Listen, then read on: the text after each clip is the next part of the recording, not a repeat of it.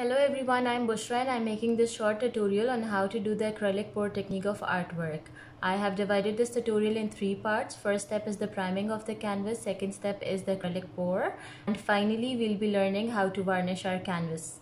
Most of the products I will be using are by Bluebird Paints and are locally manufactured and easily available.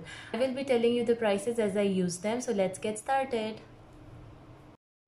Acrylic pour के लिए सबसे पहले हमें चाहिए होगा कैनवस जेसो और फ्लैट ब्रश इसको प्राइम करने के लिए। ये तीनों चीज़ें मैंने ब्लू बर्ड से ली हैं। Canvas six by six inches का है। It was for one eighty rupees gesso is for seven hundred rupees and the flat brush it was a pack of three and it was also for seven hundred and twenty five rupees इस जैसो की instruction है कि इसको 20 percent water के साथ हमें dilute करना है before applying it on the canvas that means कि अगर हम एट स्पून इसके लेंगे so we'll have to add two spoon of water कम कर दें हाफ़ कर दें तो four spoon of gesso means one spoon of water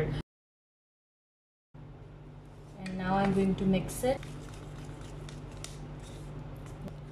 mix करने के बाद हम इसको इसके ऊपर अप्लाई कर लेंगे। We'll apply a thick coat छोड़ देंगे फॉर 30 मिनट्स 30 मिनट्स के बाद ये टच ड्राई हो जाएगा और टू आवर्स के बाद we are going to repeat this process for the second coat हम सिर्फ़ दो कोट से इसको प्राइम करेंगे. That's it After applying the second coat of gesso, I left my canvas to dry overnight and now it is ready to use. जब भी हम canvas ख़रीदते हैं बाज़ार से so we are told that it has been primed उसके ऊपर लिखा भी होता है अक्सर। But we are not sure of the quality of the primer they had use in the industry और उसके ऊपर कुछ प्रिजर्वेंट्स भी यूज़ किए हो सकते हैं उन्होंने।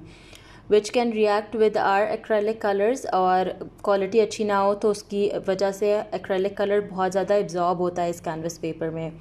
सो इट इज़ इंपॉर्टेंट कि हम अपने कैनवस को ख़ुद अच्छे क्वालिटी जैसों से प्राइम करें।